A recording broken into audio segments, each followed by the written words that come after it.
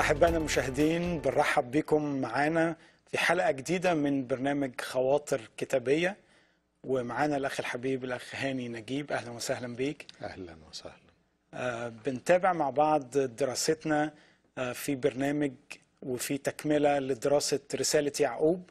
آه، شفنا دروس رائعة عظيمة الرب عطاها لنا في رسالة يعقوب. وأنا متأكد أن كتير من أحبائنا المشاهدين وجهة نظرهم ودخولهم لرسالة يعقوب هيكون مختلف عن الأول بعد فهمنا آه، بصورة عميقة ورائعة لرسالة يعقوب. النهاردة بنتابع مع بعض وبنكمل في الأصحاح الأول وهنقرأ مع بعض جزء آه، في نهاية الأصح الأول من عدد 19 خلينا نفتح مع بعض رسالة يعقوب أصح واحد والعدد 19 إذا يا إخوتي الأحباء ليكن كل إنسان مسرعا في الاستماع مبطئا في التكلم مبطئا في الغضب لأن غضب الإنسان لا يصنع بر الله. لذلك اطرحوا كل نجاسة وكثرة شر فاقبلوا بوداعة الكلمة المغروسة القادرة أن تخلص نفوسكم. ولكن كونوا عاملين بالكلمة لا سامعين فقط خادعين نفوسكم. لأنه إن كان أحد سامعا للكلمة وليس عاملا فذاك يشبه رجلا ناظرا وجه خلقته في مرآة فإنه نظر ذاته ومضى وللوقت نسي ما هو. ولكن من اطلع على الناموس الكامل ناموس الحرية وثبت وصار ليس سامعا ناسيا بل عاملا بالكلمة فهذا يكون مغبوطا في عمله. آه، هنقف عند الجزء دوت وهنكمل قرايتنا مع بعض لكن آه، بستشعر إن إحنا داخلين على جزء آه، محتاج دقة ومحتاج مننا ملاحظة شديدة. نصلي رب يدينا كلمة النهاردة ودروس عميقة آه، في كلمته في هذا الجزء. في الآيات دي بيتكلم عن شيء عزيز بالنسبة لي. اسمه كلمة الحق. وكلمة الحق في مفهومه كلمة لا تسمع فقط ولكنها تقبل ولا بد أن الإنسان يقبلها قبولا حقيقيا. هنا بيقول اقبلوا بوداعة الوداعة يعني الخضوع. الوداعة عكس المقاومة. لأن أحيانا كثيرة الكلمة تصطدم بعثرة العقل. فالإنسان بيبقى مش شايف آه، منطق في الكلام اللي هو بيسمعه أو اللي هو بيقراه. فبيقول له اقبلها بوداعة. وكلمة الله فيها خاصية أنها إذا وصلت القلب فإنها تنغرس. فيه. فاقبلوا بوداعة الكلمة المغروسة. الغارس هنا هو المسيح شخصيا. طيب. لأنها كلمة الحق. والناس فاكرة إن فعل القبول ده فعل سلبي. لا بولس الرسول قالها بطريقة تانية قال صادقة هي الكلمة ومستحقة كل قبول. القبول هنا يعني أكثر من الاستماع. اقبلوها كل قبول واقبلوها بوداعة كلمة الحق. ودايما أنا بقول آه، لمن يريد أن يفهم الكلام في الكتاب المقدس إن هو يتعلم يوما فيوما كيف يقترب من الكلمة كيف يلتصق بها كيف يخضع لها كيف يهز أو يلهج بها إيه، حتى تصير في حياة. حتى تصير في إنسان آخر. عشان كده بيقول الكلمة المغروسة دي قادرة فيها فاعلية رهيبة. م- معمولة لكي تنغرس في الإنسان وتحوله أو تغيره يعني مش مجرد كلام.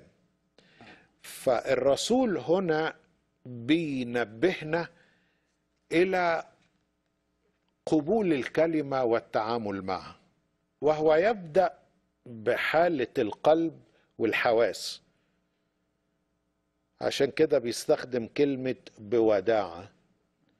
و- آه، والوداعة في المفهوم اللاهوتي التصوفي قديما آه، كانت تعني آه، الفرح والاستسلام. والطاعة. و- و- وعكس الضوضاء و- والشوشرة اللي هيتكلم عليها هو في الرسالة بعد كده. آه، وكان ال- القديس يوحنا الدرجي آه، اللي كانوا ساعات يسموه يوحنا السلمي لأن هو كتب كتاب سلم الفضائل. كان يقول عن الوداعة أنها اللا هوى. عشان كده الرسول هنا بيقول اطرحوا كل نجاسة وكل شر. الهوى حتى مش شرط يكون هوى أثيم أو شرير ولكنه هوى نفس. آه، خلي آه، آه، الرسول هنا بيقول كل حواسك قلبك عقلك سكونك وهدوء آه، قلبك. مهمة قوي. آه، داود النبي كان يهدئ ويسكن نفسه قدام الله. واحد القديسين قال ال- الهدوء القلب هو أحد أسرار الحياة الآتية. يعني الحياة في العالم ما فيهاش هدوء لكن حين يهدأ الإنسان فهو تقريبا استدعى من الأبدية زمنا خارج الزمن وبدأ يعيش فيه هادئا ساكنا لكلمة قادرة. كلمة أقل ما تفعله أنها تخلق وتوجد وتستحدث. أنا عايز بس أقف حتة بسيطة هنا عند الهدوء ده هاني إحنا متعودين إن الإنسان اللي مشغول واللي عنده في جدوله حاجات كتيرة هو ده الإنسان المهم. فمعلش يعني يكلم الخدام على حتة إن إحنا نكون هاديين أمام الكلمة ونقعد ونسكن لها يعني. آه، آه، الإنسان اللي جاي يجلس متهذبا للكلمة ويسمعها بوداعة. غالبا ما بيبقاش إنسان عايز ياخدها عشان يستخدمها. أو آه، يوعظ بيها ويعلم بيها في الأول. آه. آه، أو يضيف إلى آه، إلى معلوماته. لكنه فعل روحي باطني عميق. يجعل الكلمة المغروسة تتحول إلى فعل. وبهذه المناسبة عايز أقول أن آه، بعض ال- الشراح آه، القدماء وهم بيتكلموا في إنجيل يوحنا إصحاح واحد لما بيقول في البدء كان الكلمة والكلمة كان عند الله والكلمة كان هو الله. بيقولوا إن في الترجمات الفرنسية القديمة للكتاب المقدس كانت الكلمة تأتي بس- بمفهوم الفعل. يعني بدل كان الكلمة كان الفعل. بالمفهوم ده. آه. الفعل. وده اللي بيقوله آه، الرسول بولس ما تقبلهاش وبعدين تنساها. لأن الكلمة لا تحفظ في الذاكرة. الكلمة تحفظ وتخبأ في القلب حينما تنقلب في حياة الإنسان إلى فعل. إلى إنسانية جديدة. فالكلمة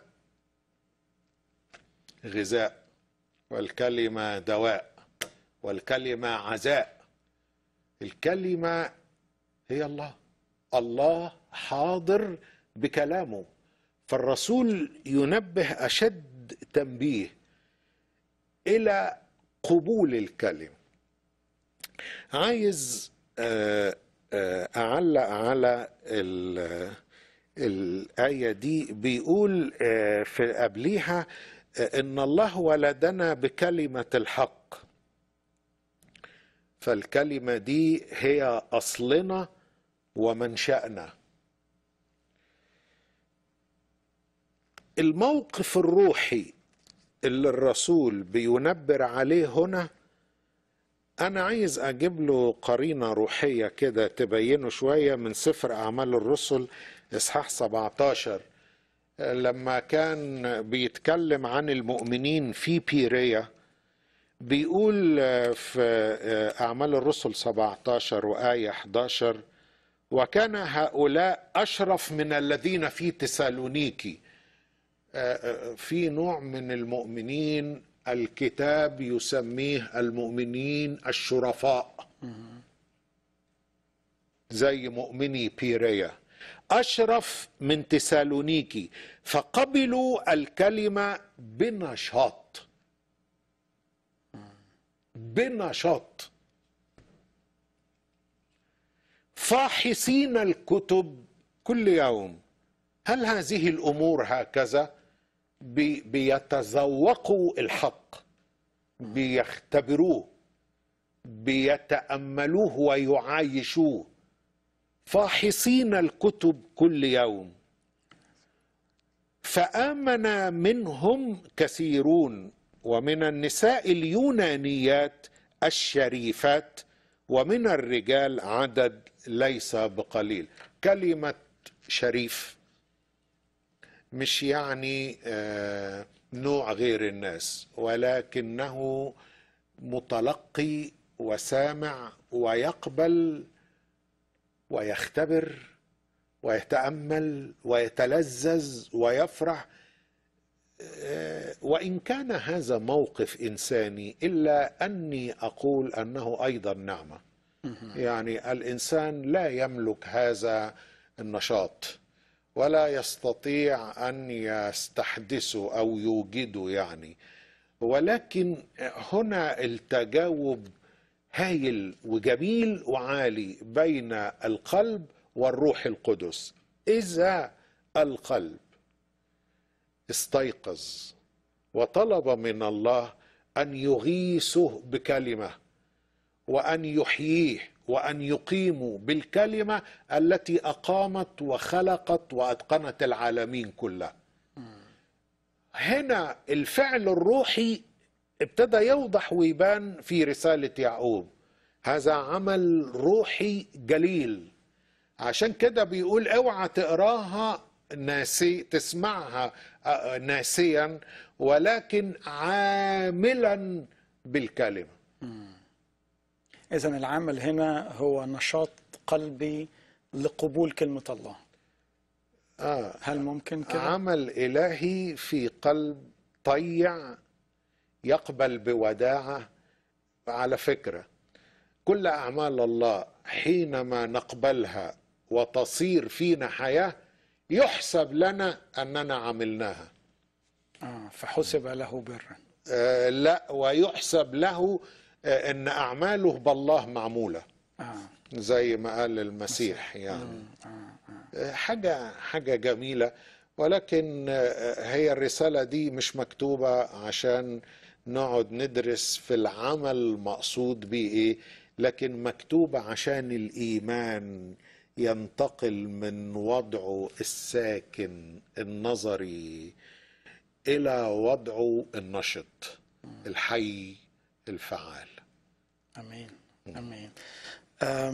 أنا كنت عايز أتكلم معاك في ليكن كل إنسان مسرعا في الاستماع مبطئا في التكلم مبطئا في الغضب. مم. آه، إحنا اعتدنا إن دي يعني نصيحة آه، لتدريب النفس لكن أنا عارف إن حضرتك ليك تأمل مختلف تماما عن كده وأنا الحقيقة أعجبت جدا بيه. وبحاول أتعلمه وأعيشه. فعايز كمان أشارك المشاهدين بنفس الحق دوت. هذه الآية آه، بتصف بتصف آه، الإنسان الجواني.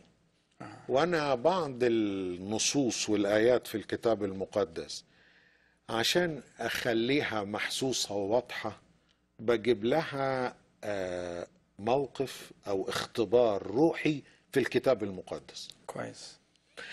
لما راح نعمان السورياني لأليشع هو الأول راح للملك البنت ال- المسبية اللي كانت في بيته قالت لهم ده عندنا في بلدنا نبي بيشفي أي حاجة. فطبيعي إن راجل كبير زي كده يروح للملك. فراح للملك الملك قال له أنت جاي لاشفيك هو أنا الله وشق هدومه. قال له ده أنت بتتحرش بيا بقى يعني أنت كده مش آه. فأليشع سمع قال لهم بيقطع هدومه ليه؟ ابعتوه لي. فراح نعمان السورياني بالمركبات بقى والحرس و... فطلع له ولد صغير كده. قال له سيدي بيقول لك روح آه، استحمى اغطس في نهر الأردن سبع مرات. نعمان اتنرفز. قال هو الموضوع ده كله عيال كده ولا إيه؟ يعني في البيت عيلة تقول لي روح وهنا يبقى هو جوه يبعت لي عيل صغير يقول لي روح است. هو إيه الموضوع ده؟ بدل ما يطلع ويحط إيده على الأبرص. آه، آه، مش عايز يقول عليا.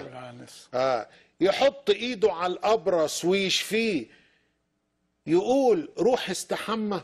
طب وإحنا ما عندناش مية في ابانا وفرفر عندنا في بلدنا أحسن من اللي عندكم ومضى بغيظ. بص بقى. نعمان ما استمعش نعمان اتكلم على طول. ما قبلش الكلمة. ما قبلهاش بوداعة. فابتدى يتكلم ويقول هو إيه اللي بيعمله ده؟ وده معنى إيه؟ ده المفروض كيت وكيت وكيت. أصل الكلمة كتير بتبقى مش ماشية مع العظمة الإنسانية أو مع عظمة العقل البشري. فيقول إيه ده؟ ومضى بغيظ اتنرفز وعايز يمشي. قام الناس اللي حواليه يقولوا له يا مولانا بالراحة بس لو كان هو قال لك على حاجة عظيمة قوي مش كنت هتعملها. قال آه. طبعا. بس ما يقوليش روح انزل المية سبع مرات. قال ما أنت ما تعرفش. أنت ما تعرفش الكلمة اللي هو قالها دي. لو أنت رضيت بيها وما غضبتش لو سمعتها بدل ما تقعد تتكلم وتخطب لو تسمع. الإنسان عنده ال- الشغلانة دي. نيقوديموس يجي للمسيح يقول له نحن نعلم. طب ما أنت عارف كل حاجة جاي ليه. وساعات واحد يقول لي يا رب إحنا عارفين. عارف إيه؟ ف... فقالوا له ما تسمع يا مولانا يعني. ما تقبل بوداعة الكلمة اللي اتقالت لك. وخبيها في قلبك واحفظها شوفها هتعمل فيك إيه لما راح وطبعا قلع هدومه بقى وقلع النياشين والقرف بان والريحة طلعت بقى ونزل الأردن. سبع مرات فرجع إليه لحم لحمه كلحم صبي يعني اتخلق له اتخلق له إنسانية جديدة. لحم الصبي اللي هو الطفل اللي لما تمشي إيدك عليه يعلم كده يسيب مكان الإيد. لسه مخلوق الوقتي خليقة جديدة. خليقة جديدة. فنعمان كان مسرعا في الكلام مسرعا في الغضب. مبطئا في الاستماع مش بيسمع. فيعقوب بقى بيعكسها بيقول خلي بالك وانت بتتعامل مع كلمة الله ما تبقاش متكلم متكلم وما تقعدش تشرح تشرح وت... وتقول أنا فاهم وأنا عارف. لا لا لا اخضع ليها اقبلها بوداعة اسمعها بنشاط. مسرعا في الاستماع يعني بنشاط زي مؤمني بيريا كده. قل للمسيح أعطيني هذا القلب النشط عشان أشفى من دائي أشفى من ضعفي أشفى من عيوبي. اديني إني ما ما ما أصطدمش بكلامك. اديني خضوع مسرع في الاستماع نشط مبطئ في الكلام مبطئ في الغضب. كلام جميل. طبعا. بالمعنى ده. آه بالمعنى ده. ما هو معناها كده. بالمناسبة بقى الإنجيل كل إنسان يطبقه في حياته. له تطبيقات لا حصر له لكن إنجيل المسيح له معنى واحد. هو المعنى اللي الله يقصده واللي الروح القدس يقصده لما كتب الرسالة دي للمؤمنين. فالاتجاهات طب تقول لي طب وش عرفنا بقى اللي انت بتقوله ده؟ إن هو ده المعنى. أقول لك ما تاخدش كلامي كده على عواهنه لكن افتح قلبك لكلمة الحق. أها. إذا لمستك وإذا خلقتك وإذا فرحتك تبقى هي دي. عشان كده بطرس الرسول يقول إيه؟ إن كان أحد يتكلم فكأقوال الله. يعني وصل كلمة الله. ما تحطش فيها من مفاهيمك ومن بيئتك ومن تصوراتك. ده غش للكلمة. زي اللي بيحط عليها مية مثلا اللبن اللي بيحط عليه مية. أو ينزع الدسم منه يشيل القيمة الروحية ويخليها فكرة كده. كل ده غش. غير غاشين كلمة الله. مش في رسالة يعقوب بس في كل كلمة الله. الحقيقة أحبائي المشاهدين أنا سعيد جدا بهذا الجزء خاصة آه، تطبيق ليكن الإنسان مسرعا في الاستماع لأنه كنا بناخدها كتير على إن دي حاجة لتهذيب النفس لكن أنا بحب قوي لما الأخ هاني عطى آه، مثال من كلمة الله لتطبيق آيات كلمة الله. وزي ما قلنا قبل كده قارنين الروحيات آه، بالروحيات. في الختام بس بسرعة يا أخي هاني عايزين ناخد الحتة الآية اللي بعد كده. لما بيقول حضرتك اتكلمت عن كونوا عاملين بالكلمة لا سامعين فقط آه، وبيتكلم عن ينظر وجه خلقته في مرآة ولما بيتحول بينسى اللي هو شافه. عايزين ناخد تعليق بسيط على الجزء ده في الدقيقتين الأخرانيين. عايز يقول إذا الكلمة ما قبلتهاش بالطريقة اللي إحنا بنتكلم بيها دي هتكون عندك صورة ذهنية مش صحيحة عن الإنسان اللي الله عايزه. بعد ما تخلص قرايتك واستماعك تدور على الإنسان ده ما تلاقيهوش. زي اللي كان واقف في مراية مش من قدام المراية فبقى الشخصية اللي قدامه مش موجودة لأنها مش حقيقية. فبيقول إيه ما تعملش زي اللي بيبص في المراية ولما مشي نسي أو ما بقتش الشخصية اللي قدامه موجودة. عشان كده في ناس بتحس إن الشخصية الروحية اللي الله عايزها واللي اتكونت في ذهنيته وهو يتأمل ويتعلم من كلمة الله شخصية ليس لها وجود واقعي لكنها صورة أشبه بالخيال. ما هياش حاضرة مش واقع. ليه؟ لأن الكلمة ما صارتش فيه فعل. ما بقتش فيه حياة. الكلام الذي أكلمكم به هو روح وحياة. ده صحيح ده صحيح. آه، شيء رائع جدا والتعليق اللي كنت دايما بسمعه من الأخ هاني أن الكلمة تصير فيا إنسانا. آم، أحبائي المشاهدين شايف أن إحنا نقبل هذه الكلمة المغروسة القادرة. أن تغير وتخلص حياتنا. في آخر دقيقة أخي هاني قدم لنا نصيحة روحية نعملها ونحن نقبل هذه الكلمة ونخضع لها. أقدم النصيحة اللي الرسول كاتبها في آخر الإصحاح. بيقول آه، إذا كنت فاكر إنك دين. الكل بص يعقوب حريص قوي في كلامه. دين.